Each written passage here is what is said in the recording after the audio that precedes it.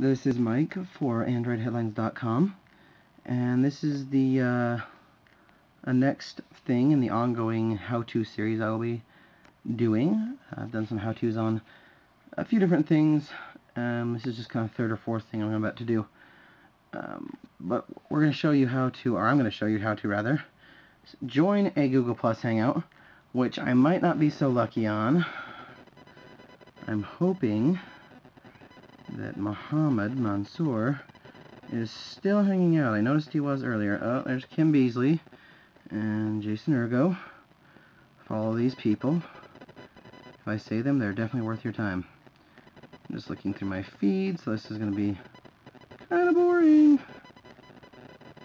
But, so I'm going to fill my stuff here by saying that when you have someone who's hanging out, when you see someone hanging out on your stream, you can join their hangout. I mean, if it so suits you. You don't have to, obviously. But when you join their hangout, oh, there's Mohammed Mansour. So, and Daniel Eli Rankin. Uh, Daniel hangs out with some some of that crowd uh, from time to time, and he's a cool guy. And so is Mohammed. But basically, you click that join hangout button, and you can join the hangout and it's that easy as long as you have a mobile phone that has a front-facing camera and allows Hangouts, which I believe is above 2.3, I want to say. I know it's definitely not 4.0, 4.0 only because I could do it on my Evo. So as long as you have a front-facing camera and 2.3, and the Google Plus app, of course, you can join a Hangout. As for starting a Hangout from mobile, that's a different story. Um, so basically, you go to Create, a new window.